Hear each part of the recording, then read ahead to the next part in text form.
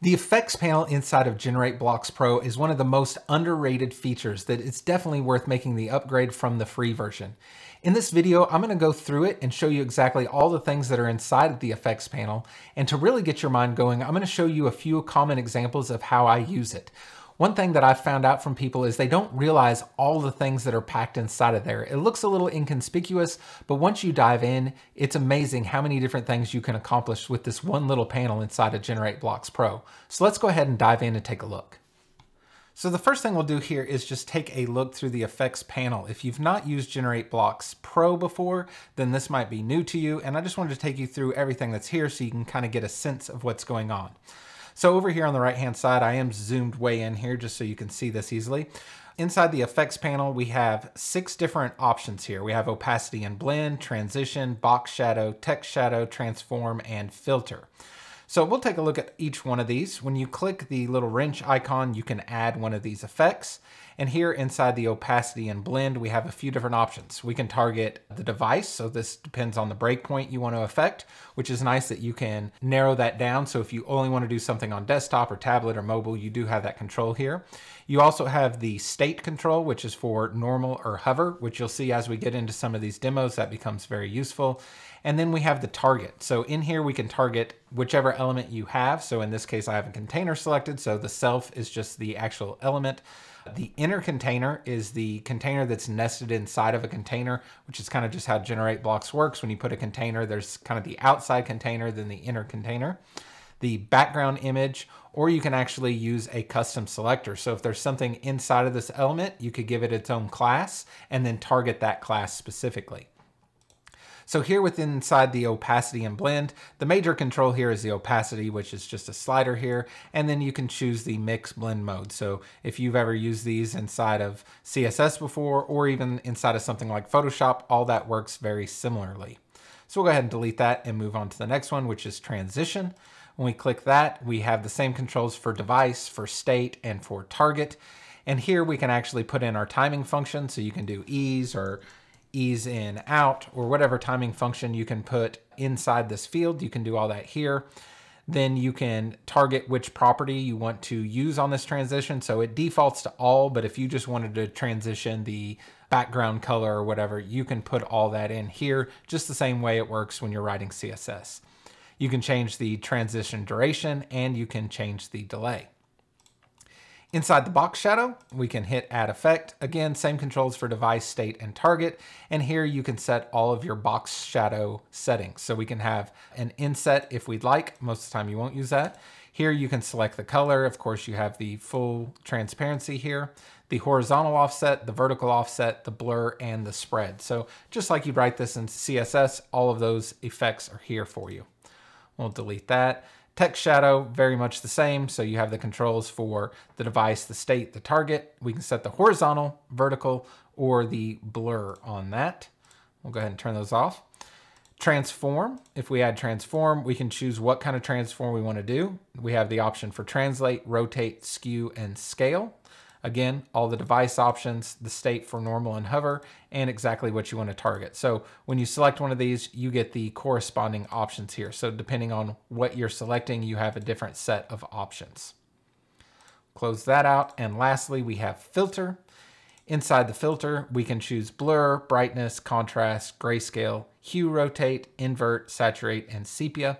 Again, with the device controls, the state, and the target. So now that you have a better sense of all the effects that are in here, I'm gonna go through and show you a few that I use pretty regularly on builds so you can get an idea of how these are done. Now, now this video really isn't a step-by-step -step tutorial on these are the steps you need to take to do this specific thing. I'm just gonna use a few examples of things that I do pretty regularly because what I found with the effects panel is you're really only limited by your imagination. I know for a while I was doing some things the hard way. I was going out and writing CSS for these things when they were under my nose the whole time. I just didn't realize I could do all these things inside of the effects panel. So let's go through a few different options here so you can see what all kinds of things you can create just by using the effects inside Generate blocks. Okay, so the first one we're gonna do is kind of a page hero design that I do pretty regularly. So we'll go in here and drop in a container. I'm gonna go ahead and give this a lot of spacing just so we can see the effect a little bit better here on the screen. And we'll scroll down here to backgrounds. and we're gonna go ahead and choose an image for the background. So I'll grab one here that I already have loaded into my media library. And on top of that background, we're actually gonna use a gradient.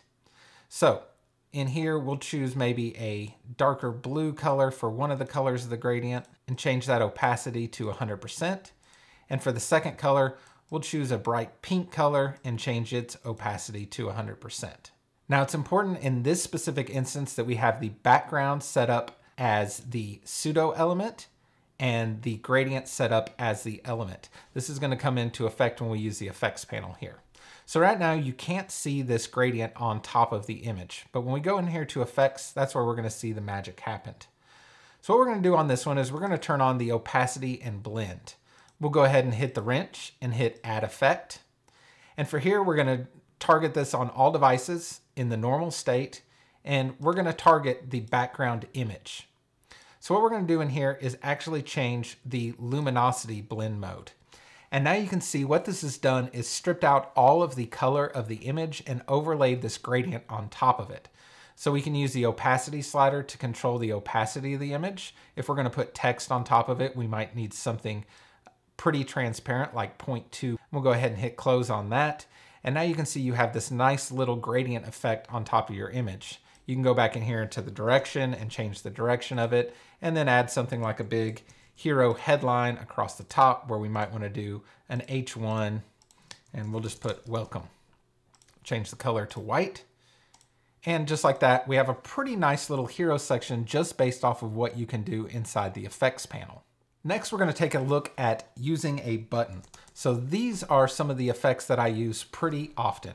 So I'll just go ahead and drop a button block in here and we'll just say, click me in the text. I'm gonna go ahead and change the color from this blue color on the background. Go ahead and copy that. And I'm gonna do just a slightly darker blue on hover. So now you can see when we hover over our button, it gets a little bit darker. Of course, this is a little boring, and this is where the effects panel comes into play. So what we're gonna do here is turn on the transform. We'll hit the wrench and we'll hit add transform. For this, we're gonna do a translate and we're gonna do this on hover. Now what we wanna do is actually translate the Y by negative four pixels. And you can see now when we hover over our button, it jumps up slightly. Of course, this is a little jerky, so we need to add a transition on here.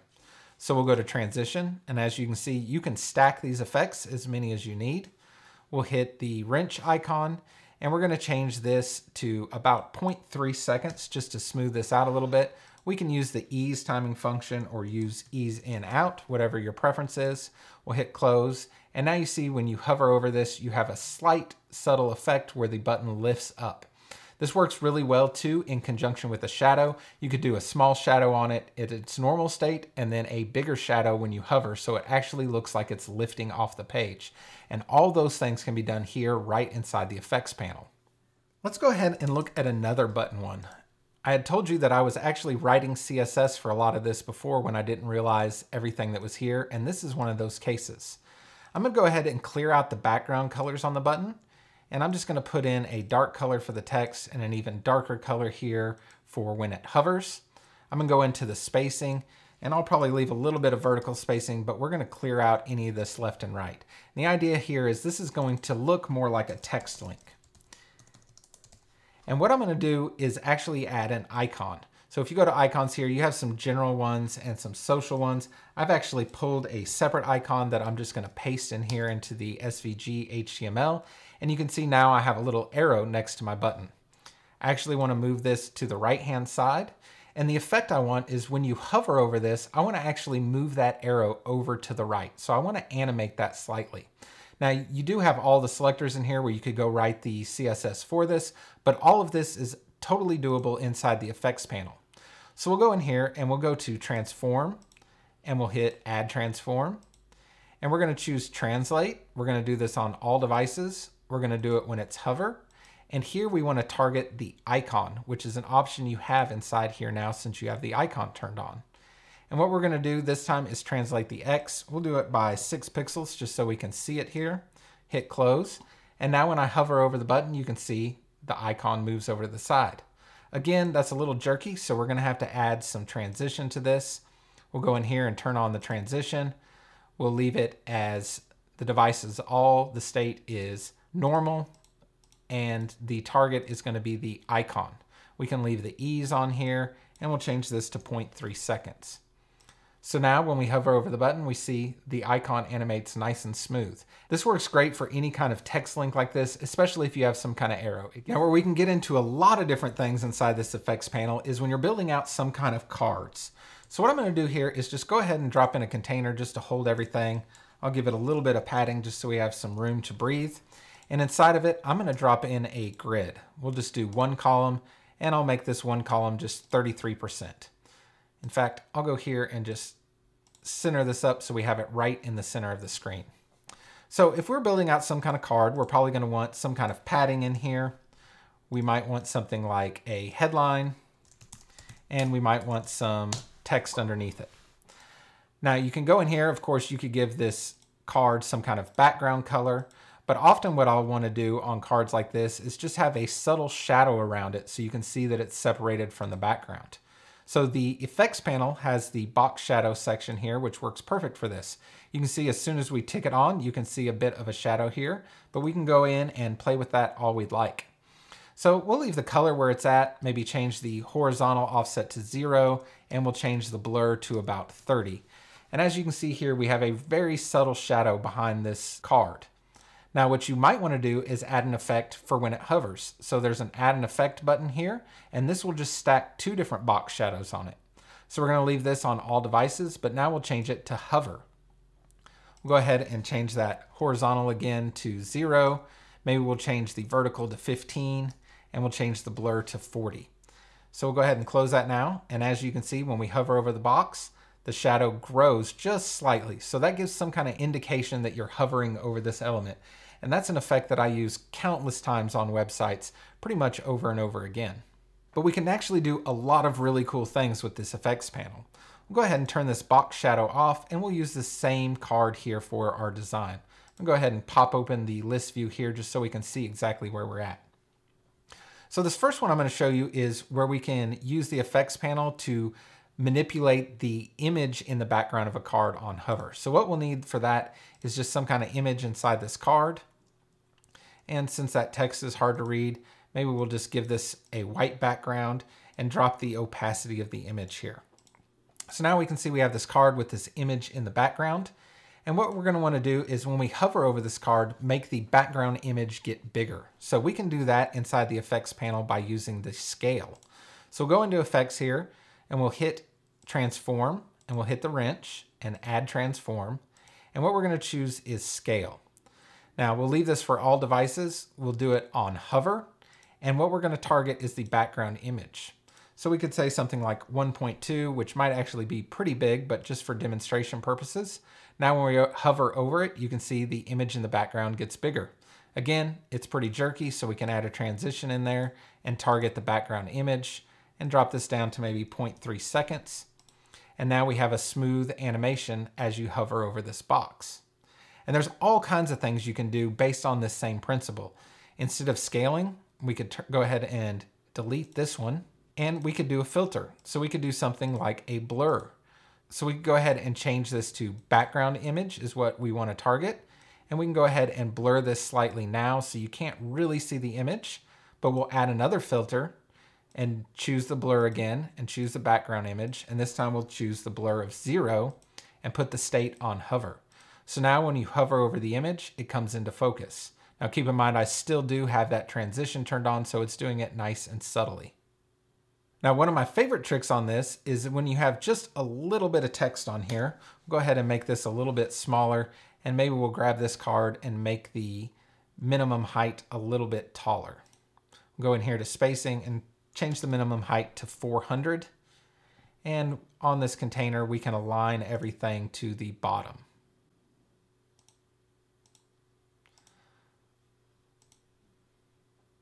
We'll go ahead and delete this blur here for now. And you can see we have this card where you can see the image in the background, the text on top of it. But one thing I like to do is use the transform here and we'll get to see how this works on inner container.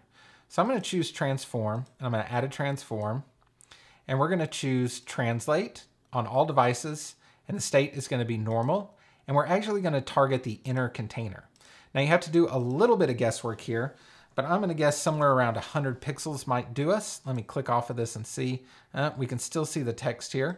So we'll go ahead and edit that just a little bit by jumping back in here to the effects, trans, oh, not the transition, the transform. And we'll change this to maybe 105 pixels. And now our text is completely gone outside of this card, so all we see is the headline. Now what we want to do is when you hover over this, the text come back into view.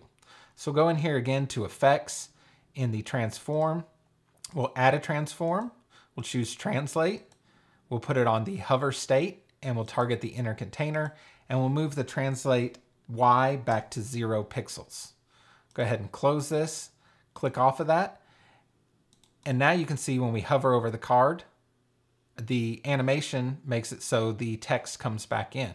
Now, of course, this is a little jerky as well, so we want to go back in here and make sure that our transition is actually targeting the inner container. We'll hit close, we'll click off of it again, and now when we hover, everything just slides into place. This is a really cool effect if you have several cards on a page and you don't want to overwhelm them with too much text. So as you can see, there's a whole lot of things you can do inside the GenerateBlocks Pro effects panels. It's definitely one of the hidden gems inside of the software and something that's worth upgrading to the pro level plan for.